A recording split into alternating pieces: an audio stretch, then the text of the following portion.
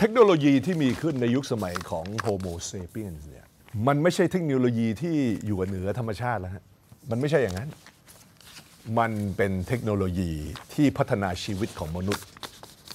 พัฒนาชีวิตของมนุษย์ในแบบที่ทำให้มนุษย์สามารถอาศัยอยู่ในโลกใบนี้อย่างต่อไปอย่างอย่างยั่งยืน และและในขณะเดียวกัน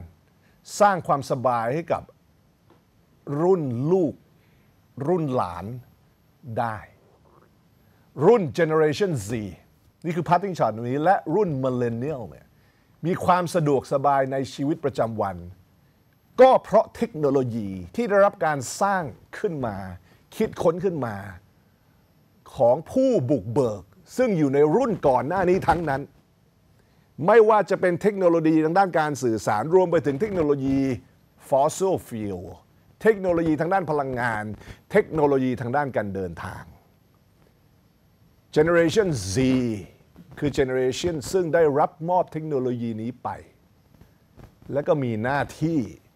ในการค้นหาสิ่งที่พัฒนาการไปไกลกว่านี้ เพื่อมอบให้กับรุ่นลูกรุ่นหลาน เพราะฉะนั้นความกระตัญญูกระตะเวทิคุณเนี่ยย่อมดีไปกว่า cult of victimhood และการบ่นทุกเรื่อง